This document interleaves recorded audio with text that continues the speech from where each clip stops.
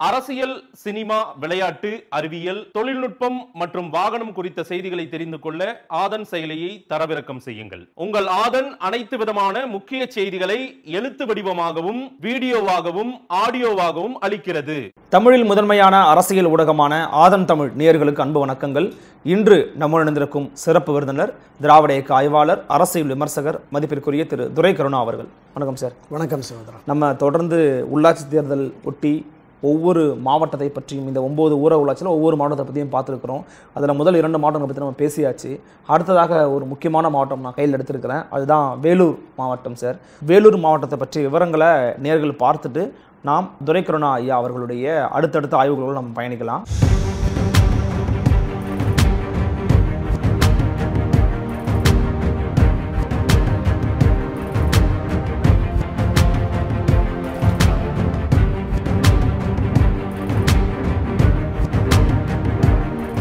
So Vellore மாவட்டத்தை பொறுத்த வரைக்கும் பார்த்தீங்கன்னா நான்கு சட்டமன்ற தொகுதிகள் இருக்குது நம்ம பார்த்தோம். அதில் வந்து வேலூர் அணைக்கட்டு கேவி குப்பம் குடியாத்தம் அப்படின்னு இருக்குது அதில் பெரும்பான்மையாக இருக்கிறது திமுக தான். ஸோ வேலூர் மாவட்டம் எப்படி சார் இருக்குது உங்களுடைய அனாலிசிஸில் இந்த ஊரக உள்ளாட்சி தேர்தலுக்கான வாக்குப்பதிவு இன்னும் ஒரு வார காலத்தில் நடைபெற இருக்கிறது.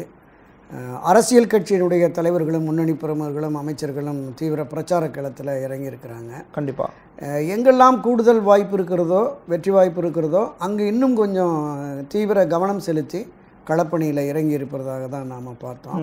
நீ குறிப்பிட்டது மாதிரி வேலூர் மாவட்டத்தை பொறுத்தளவில் அங்கு நடைபெற்று முடிந்த சட்டமன்ற பொதுத் தேர்தலில் இருக்கிற ஐந்து தொகுதியில் நான்கு தொகுதிகளில் திராவிட முன்னேற்ற கழகம் வெற்றி பெற்று முன்னிலை வைக்கிறாங்க ஒரே மட்டும் பூவி ஜெகன்மூர்த்தி. ஆமாம் ஒரே ஒரு இடம் தான் கேவி குப்பத்தில் பூவை ஜெகன்மூர்த்தி அதிமுக கூட்டணியில் வெற்றி பெற்றிருக்கிறாரு. இப்போ அந்த அடிப்படையில் பார்க்கிற போது திராவிட முன்னேற்ற கழகம் ஆட்சி அமைந்து நான்கு மாதங்கள் தான் இருக்குது. திராவிட முன்னேற்ற கழகத்திற்கு எதிர் மனநிலை வருவதற்கான வாய்ப்பு ரொம்ப ரொம்ப குறை. அப்படி இருக்கிற சூழலில் அங்கே இருக்கிற மாவட்ட ஊராட்சி ஒன்றிய ஊராட்சி கிராம தலைவர்கள் கிராம பஞ்சாயத்து தலைவர்கள் கிராம வார்டு உறுப்பினர்கள்.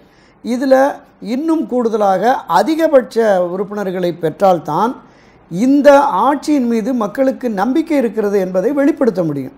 அதனால் தீவிரமாக ஆட்சி கட்சியினர் கவனம் செலுத்துகிறாங்க மிக மூத்த தலைவரான மதிப்பிற்குரிய துரைமுருகன் அவர்கள் அந்த வேலூர் மாவட்டத்தை சேர்ந்தவர்.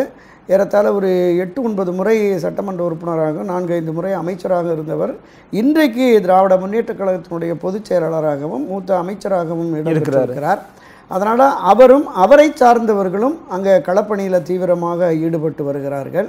இதை எதிர்கொள்வதற்கு அண்ணா திராவிட முன்னேற்ற கழகமும் முன்னாள் அமைச்சர்கள் தலைமை கழக நிர்வாகிகள் அந்த மாவட்ட நகர ஒன்றிய நிர்வாகிகள் இதை கடந்து வெளியூரை சேர்ந்த தலைமை கழக நிர்வாகிகள் முக்கிய பிரமுகர்களை பொறுப்பாளர்களாக போட்டு ஒவ்வொரு பகுதி வாரியாக அந்த கிராம பஞ்சாயத்தாகட்டும் அந்த கிராம பஞ்சாயத்துக்கு உட்பட்ட குக்கிராமங்களாகட்டும் அங்கே எல்லாம் போய் தீவிரமாக பிரச்சார பணியில் களப்பணியில் ஈடுபட்டு வருகிறார்கள். அப்போ இது வந்து நேர் எதிரடையான ஒரு வலிமையான போட்டியாக இருக்கும். இதை தாண்டி திராவிட முன்னேற்ற கழகத்திற்கு வாய்ப்பு நான் தொடக்கத்தில் குறிப்பிட்டது போல அங்கு அதிகபட்ச சட்டமன்ற உறுப்பினர் இருக்கிறாங்க. ஒரு அமைச்சரும் இருக்கிறார். இந்த ஊரக உள்ளாட்சி அமைப்புகளில் திராவிட முன்னேற்ற கழகத்திற்கு சாதகமான வெற்றிகள் கிடைக்குமே என்றால் அமைச்சர் சட்டமன்ற உறுப்பினர்கள் இவர்கள் அரசிடம் நமக்கான தேவைகளை கேட்டு பெற்று நம்முடைய கிராம வளர்ச்சிக்கு நம்முடைய பகுதி முன்னேற்றத்திற்கு பாடுபடுவார்கள் என்கிற எண்ண உணர்வு மன ஓட்டம் மக்களுக்கு இருக்கும். அந்த வகையில் அதிகமான வாய்ப்பு. திராவிட முன்னேற்ற கழகத்திற்கு வேலூர் மாவட்டத்தில் இருக்கிறத பார்க்குறோம். வேலூரை பொறுத்தளவில் இரண்டாயிரத்தி நானூற்றி எழுபத்தி எட்டு மொத்த ஊரக உள்ளாட்சி இருக்கு. பொறுப்புகள் இருக்குது அதில் வந்து எட்டாயிரத்தி நூற்றி எழுபது பேர் மனு தாக்கல் செய்திருக்கிறாங்க. இதில் ஒரு நான்கு மடங்கு கிட்டத்தட்ட நான்கு மடங்கு அதிகமாக அங்கே இருக்கிறது. அப்போ இதில் திராவிட முன்னேற்ற கழக அணி அனைத்து இந்திய அண்ணா திராவிட முன்னேற்ற கழக அணி. இதை தாண்டியும் பாமக தனித்து போட்டியிடுகிறது. அதே போல் நாம் தமிழர் கட்சி சீமானுடைய நாம் தமிழர் கட்சி தனித்து போட்டியிடுகிறது. மரியாதைக்குரிய கமல்ஹாசனுடைய மக்கள் நீதி மையம் தனித்து போட்டியிடுகிறது. அப்போ இந்த இளைய வாக்காளர்களுடைய வாக்குகள் எப்படி சிதறும் அப்படிங்கிறத நான் பார்க்கணும். வன்னியர்கள் தனியாக பாட்டாளி மக்கள் கட்சியும் இருக்கிறதுனால வன்னியர் வாக்கு வங்கியும் சிதறும். இப்படி இந்த சிதறுகிற வாக்கு ஆட்சி கட்சிக்கு எதிரான வாக்காக அதிமுகவிற்கு சென்று சேருமா அப்படிங்கிறது நமக்கு ஒரு ஆஹ், கேள்விக்குறி கேள்விக்குறியாக ஆனா என்ன நீங்க சொல்றத யோசிக்கும் போது அதிமுக கூட்டணியில் இருந்திருந்தாங்கன்னா மேபி அதிமுக வந்திருக்கலாம் அது. பாமகவோட வாக்கு. நிச்சயமாக நிச்சயமாக நான் என்ன சொல்கிறேன்னா இந்த பாமக வாக்குகளே கூட திமுகவுக்கு போகிறதுக்கு கூடுதல் வாய்ப்பு இருக்குது என்ன காரணம்னு கேட்டிங்கன்னா அண்ணா திராவிட முன்னேற்ற கழக அரசு அறிவித்த அந்த பத்து புள்ளி ஐந்து சதவீத உள் ஒதுக்கீடு. அதை நடைமுறைப்படுத்தினது இந்த அரசாங்கம் திமுக அரசு திமுக அரசு தான். அதையும் தாண்டி அந்த எண்பத்தாறு எண்பத்தி ஏழு காலகட்டங்களில் வன்னியருக்கான தனி இடஒதுக்கீடு போராட்டத்தில் ஈடுபட்டு உயிர் நீத்த இருபத்தி ஓரு போராளிகளுக்கு மணிமண்டபம் அப்படி அமைக்கப்படும் என்கிற ஒரு விஷயத்தையும் திராவிட முன்னேற்ற கழகம் முன்னெடுத்ததுனால பெரும்பாலும் கட்சி சாராத வன்னியர்கள் கட்சியில் இருக்கிற வன்னியர்களும் கூட திமுகவுக்கு ஆதரவு நிலையாக இருப்பார்கள்ங்கிறது தான் என்னோட பார்வை. ஓகே ஆனால் நான் அடிக்கடி குறிப்பிடுவது போல இது எல்லாவற்றையும் கடந்து இந்த ஊரக உள்ளாட்சி தேர்தலை பொறுத்தளவில் தனிநபர் செல்வாக்கு சமுதாய செல்வாக்கு கட்சி செல்வாக்கு மக்கள் செல்வாக்கு இந்த நான்கையும் கடந்து பணம். இதுதான் வெற்றி தோல்வியை தீர்மானிக்கும். பணம் சொந்த செல்வாக்கு சமுதாய செல்வாக்கு கட்சி செல்வாக்கு பொதுமக்களின் ஆதரவு. அவர் அந்த பகுதியில் செயல்படும் அந்த அணுகுமுறை செயல்படும் விதம். அந்த விதம். இதை தீர்மானித்து தாங்கிறதுனால கட்சியை கடந்து பலர் சுயேட்சையாகவும் வர வாய்ப்பு இருக்கிறது கட்சி ஆதரவு நிலைகள் உள்ளவர்களுக்கு வாய்ப்பு இருக்கிறது கடந்த முறை அந்த தேர்தலில் போட்டியிட்டு வெற்றி பெற்று அவர்களுடைய செயல்பாடு எப்படி இருந்தது? கிராம முன்னேற்றத்திற்கு பாடுபட்டார்களா? ஒன்றியத்தினுடைய வளர்ச்சிக்கு பாடுபட்டார்களா? மாவட்டத்தினுடைய தேவைகளை நிறைவேற்றுவதற்கு பாடுபட்டார்களா? அப்படிங்கிற மாதிரி இருக்குது இதை எல்லாவற்றையும் தாண்டி ஆட்சி கட்சியாக இருக்கிற திராவிட முன்னேற்றக் கழகம் தங்களுக்கு வேண்டியவர்கள் இந்த பகுதியில் வெற்றி பெற்றால்தான் அந்த இப்போ ஒரு சட்டமன்ற தொகுதின்னு எடுத்துங்க. இந்த சட்டமன்ற தொகுதிக்கு உட்பட்ட அந்த ஊரக உள்ளாட்சி அமைப்புகளில் வந்து தங்களை சார்ந்தவர்கள் தங்களுக்கு வேண்டியவர்கள் தங்களது குடும்பத்தார் தங்களது நட்பு வட்டாரம் என்கிற பார்வை அதிகமாக இருக்கும். இப்போ அந்த வகையில் தான் வேட்பாளர்களை கூட நிறுத்தியிருக்கிறதா பல இடங்களில் பார்த்துருக்கோம். ஸோ அப்படிப்பட்ட நிலைப்பாடு வருகிற பொழுது ஏனென்றால் ஒரு சட்டமன்ற உறுப்பினர் அந்த தொகுதியில் இருக்கிற ஒன்றியம் நகரம் கிராம கிளை இங்கே வந்து தங்களுக்கு ஆதரவான நிலைப்பாடு உள்ளவர்கள் தங்களுக்கு வேண்டியவர்கள் இருந்தால் தான் அங்கே இவர் வந்து சுயமாக செயல்பட முடியும். இல்லைன்னா பல இடையூறுகள் இடையூறுகள் வரும். இந்த ஊரக உள்ளாட்சி வேலைகள் இருக்குல்ல. சாதாரணமாக கிராம பகுதியில் இருக்க வேலைகளாகட்டும் அந்த நகர் ஒன்றிய பகுதியில் உள்ள வேலைகளாகட்டும் அது எல்லாருமே இன்னொரு கட்சியை சார்ந்தவங்க இருக்கிற போது செயல்படுத்த முடியாத செயல்படுத்த முடியாத நிலை வரும். அது வந்து அந்த சட்டமன்ற உறுப்பினருக்கு ஒரு இடையூறை ஏற்படுத்தும். எனவே அந்த வகையிலையும் அவங்க தீவிரமாக கவனம் செலுத்தி தங்களுக்கு வேண்டியவர்கள் நிறுத்தியிருப்பாங்க. அவங்க வெற்றிக்காக பாடுபடுவார்கள். இந்த வாய்ப்புகள் எல்லாம் அண்ணா திராவிட முன்னேற்ற கழகத்திற்கு குறைவாக இருக்கிறது. அவங்க எதிர்க்கட்சி நிலையில் இருக்கிறாங்க. பல பகுதிகளில் புகார் சொல்கிறாங்க இது மாதிரி எங்களுடைய வேட்பாளர்களை மிரட்டுறாங்க. நீ வாபஸ் வாங்கிக்கன்னு சொல்லி மிரட்டுறாங்க. அதிகாரிகளை வைத்து அந்த தேர்தல் அலுவலர்களை வைத்து எங்களுடைய மனுக்களை எல்லாம் தள்ளுபடி செய்கிறாங்க அதுக்கெல்லாம் வாய்ப்பு இருக்கா சார் ஆனா? ஏன்னா அவங்க அவங்க என்ன மீனிங்ல சொல்றாங்கன்னா இப்போ நம்ம அந்த வேலூர் மட்டுமே பார்த்தோம்னா கூட வேலூர் அணைக்கட்டு கேவி குடியாத்தம் மூணுத்துல ஒரே ஒரு இடத்துல தான் ஏடிஎம்கே அதுவும் கூட்டணி கட்சியாக இருக்க கூட புரட்சி பாரதம் தான் வின் பண்ணியிருக்காங்க. ஸோ அப்போ அதிமுகவோட கூட்டுல உண்மை இருக்குன்னு நினைக்கிறீங்களா நீங்க? இல்லை இல்லை.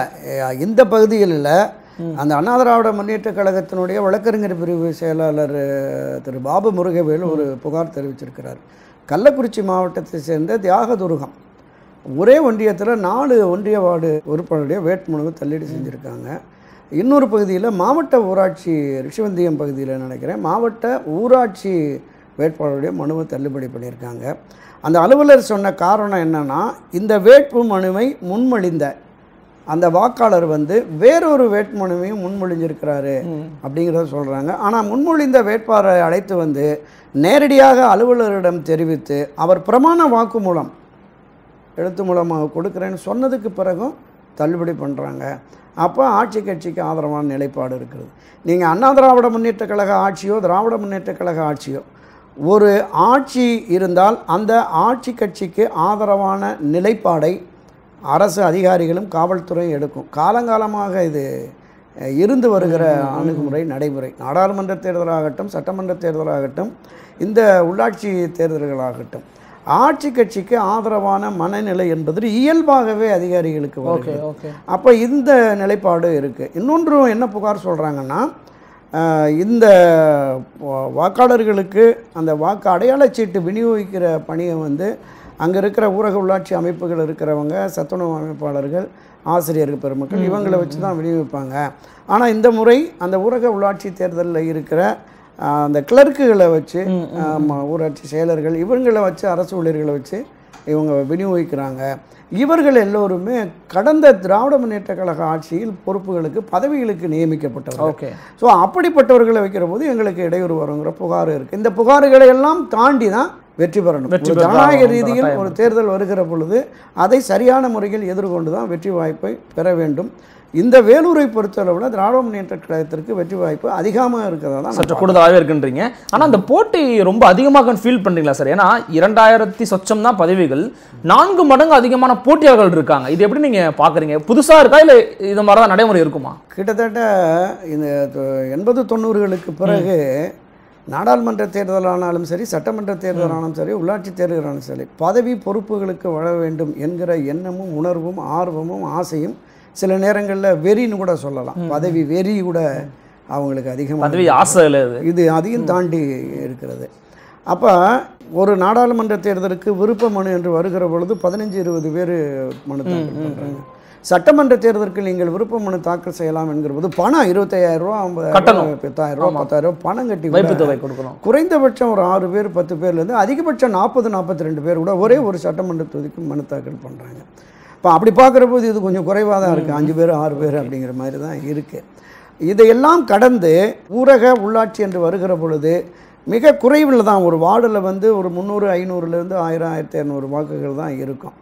அந்த வார்டில் ஒருவர் வேட்பாளராக போடுறார் அப்படின்னா அவர் யார் எந்த சமுதாயத்தை சேர்ந்தவர் அவருடைய அரசியல் பின்னணி என்ன அவருக்கான அந்த லோக்கல் உள்ளூர் செல்வாக்குன்னு சொல்லலாம். அதை அதை தாண்டி அவருடைய அணுகுமுறைகள். இதுதான் வெற்றி தோல்வி. அதனால் எத்தனை பேர் களத்தில் நின்னாலும் யார் சரியானவர் என்பதை தேர்ந்தெடுக்கக்கூடிய ஒரு நிலை இருக்கிறது. அதனால் நிச்சயமாக இந்த வேலூர் மாவட்டத்தை பொறுத்தளவிலும் கடந்த தேர்தல்களின் போதும் சரி ஒரு கணிசமான அளவுக்கு தான் ஊரக உள்ளாட்சி அமைப்புகளில் திமுக வெற்றி பெற்றிருக்கிறது.